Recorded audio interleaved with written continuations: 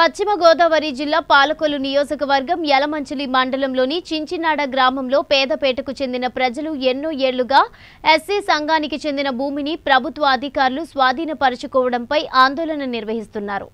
వంద సంవత్సరాలుగా పెదపేటకు చెందిన ఈ భూమిని అధికారులు స్వాధీనం చేసుకోవడాన్ని తీవ్రంగా వ్యతిరేకిస్తూ నిరసన తెలిపారు. కోర్టు ఉత్తర్వుల మేరకే స్వాధీనపరుచుకుని సచివాలయంతో పాటు పలు అభివృద్ధి భవనాలను నిర్మిస్తామని అధికారులు చెబుతున్నారు. అయితే గ్రామస్తులు మాత్రం దీనిని తీవ్రంగా ఖండిస్తున్నారు. దీంతో రంగంలోకి దిగిన తహసీల్దార్ గ్రామస్తుల అభ్యర్థనను ప్రభుత్వానికి తెలియచేస్తామని హామీ ఇచ్చారు. ఎలమంచిలి మండలం చించినాడ గ్రామం. మాజీ బోర్డు మెంబర్ నన్ను నేను. జిల్లాలో ప్రశాంతి. ఇక్కడ మా పేద పేటకు సంబంధించిన భూమి ఇది వంద సంవత్సరాలు పైబడినటువంటి స్థలము దీనికి ఎవరో కూడా ఇంతవరకు మా దీని జోలికి వచ్చింది లేదు. కానీ కొత్తగా ఈ ప్రభుత్వం వచ్చాక ఇప్పుడు దీని మీద కన్ను వేయటం జరిగింది. కానీ మా పేదవాళ్ళు దాని మీదే బ్రతుకుతున్నారు. ఎవరైనా చనిపోతే గనక కర్మకాండానికి ఖర్చులకు కూడా దాని మీద వచ్చినటువంటి ఆదాయం వల్ల మేము అటువంటి పరిస్థితి పెట్టితే కొనుక్కోవాలన్నా ఏది చేసుకోవాలన్నా దాని మీద వచ్చిన ఆదాయం వల్ల మేము కొనుక్కునే కార్యక్రమాలు జరుపుకుంటున్నాం. కానీ ప్రభుత్వానికి ఇప్పుడు ఈ భూమే కావాల్సి వచ్చి దీని మీదే కన్ను కానీ ఎట్టి పరిస్థితుల్లో కూడా మా పేదల భూమి లాక్కుంటే మేము మామూలుగా ఊరుకోము. పెద్ద ఎత్తున ఇది కార్యక్రమం చేసి మేము సాధించుకుంటామని నేను సవినయంగా చెప్తున్నాను. ఎందుకంటే కనుక అనేక మంది అనేక మంది మేము ఎంతో కష్టపడి ఎన్నో బాధలు పడి ఇది గొయ్యి అయినప్పటికైనా పూడ్చుకుని మొక్కలేసుకుని దాన్ని పెంచుకుని ఈరోజు మంచిగా చేసుకునేసరికి ప్రభుత్వానికి ఇదే కావాల్సి వచ్చిందండి. కానీ ఎట్టి పరిస్థితుల్లో కూడా ఈ- భూమి కొరకు వస్తే కనుక మామూలుగా మేము ఊరుకునేది లేదు. ఖచ్చితంగా కూడా పెద్ద ఎత్తున మేమందరము కూడా సాధించుకునే వరకు కూడా ఊరుకోమని చెప్పి నేను విన్నవించుకున్నాను.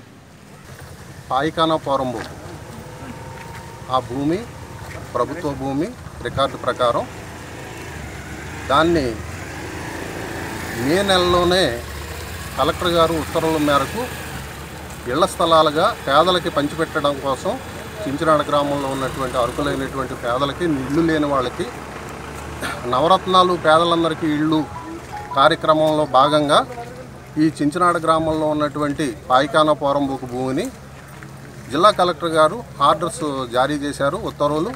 దాన్ని పేదలకి ఇళ్ళు స్థలాలుగా ఇవ్వడం కేటాయించడానికి గ్రామ కంఠం భూమిగా కన్వర్షన్ చేస్తూ పేదలకు ఇళ్ళు ఇమ్మని ఆర్డర్స్ ఇచ్చారు. దరిమిల మన చించినాడ గ్రామంలో అంబేద్కర్ యువజన సంఘం ఏదైతే ఉందో వారు హైకోర్టుని ఆశ్రయించారు. హైకోర్టు డైరెక్షన్ ప్రకారం ఎన- ఆర్డర్ ప్రకారం వారు ఒక దరఖాస్తు పెట్టుకోమని ఇవ్వడం జరిగింది. అందులో ఆర్డర్లో వారు దరఖాస్తు పెట్టారు. ఆ దరఖాస్తుని పరిశీలించినటువంటి అధికారులు రెవెన్యూ అధికారులు దాని మీద స్పెసిఫిక్గా ఆర్డర్స్ ఇమ్మని కోర్టు వారు ఉత్తర్వులు. ఆ విధంగా వారు దరఖాస్తు పెట్టుకున్నారు.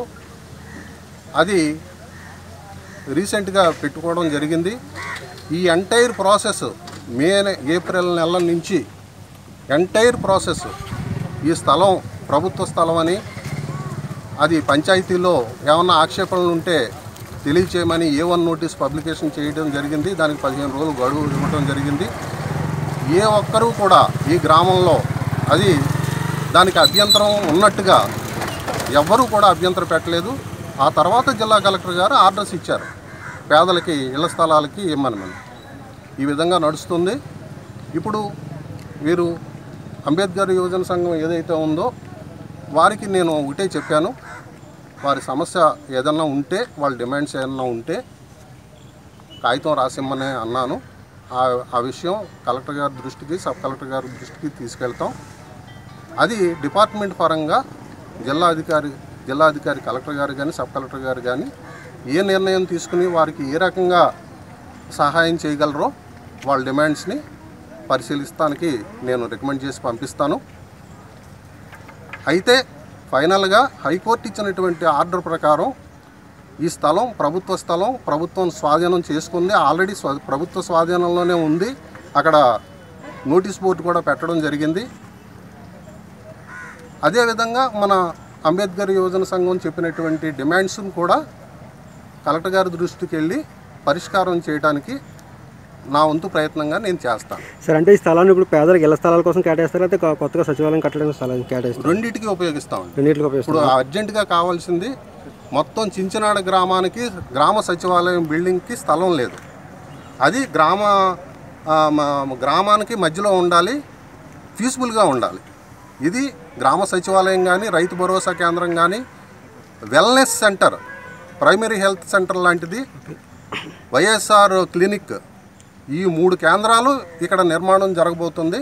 ఇది మొత్తం గ్రామస్తులందరికీ ఎవరైతే ఉన్నారో మన యువజన సంఘం అంబేద్కర్ యువజన సంఘం కానీ అందరికీ మొత్తం అందరికీ ఉపయోగపడేటువంటి ప్రభుత్వ భవనాలు ఇవి. అంచేత వారిని కూడా నేను రిక్వెస్ట్ చేస్తున్నాను సహకరించమని.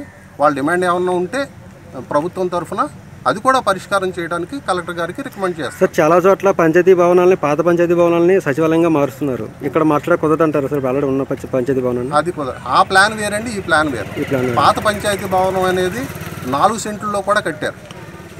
అప్పుడు పరిస్థితులు వేరు. ఇప్పుడు జనాభా పెరిగారు. ఇళ్ళు విస్తరించినాయి.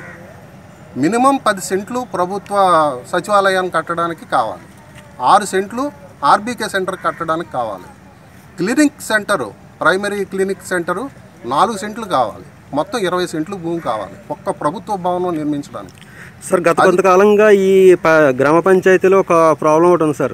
వీళ్ళకి ఇక్కడ శ్మశానం లేదని చెప్పేసి. దాని మీద మీ అభిప్రాయం ఏంటి సార్? ఇప్పుడు మేము దానికి ఆ- డిమాండ్ ఇప్పుడు కూడా గవర్నమెంట్ ఎక్కడ శ్మశానం భూమి లేకపోయినా దాన్ని సీరియస్గా వాళ్ళ ఆ కమ్యూనిటీ నుంచి కానీ రిక్వ- రిక్వెస్ట్ వస్తే దాన్ని ఇమీడియట్గా మేము పరిశీలిస్తాం. అది ఇప్పుడు కాదు ఎప్పటి నుంచో జరుగుతుంది.